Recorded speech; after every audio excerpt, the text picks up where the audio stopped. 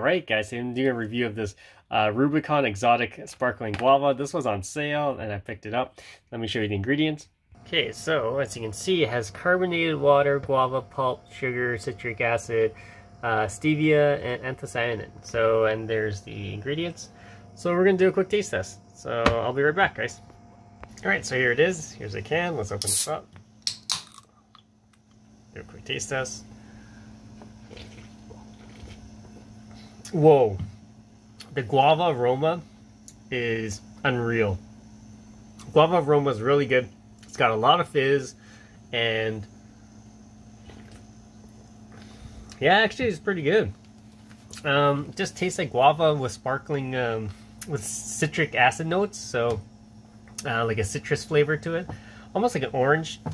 Um, but yeah, it's actually really good. Definitely check it out. The aroma of guava is really good though. Alright guys, see you in more videos.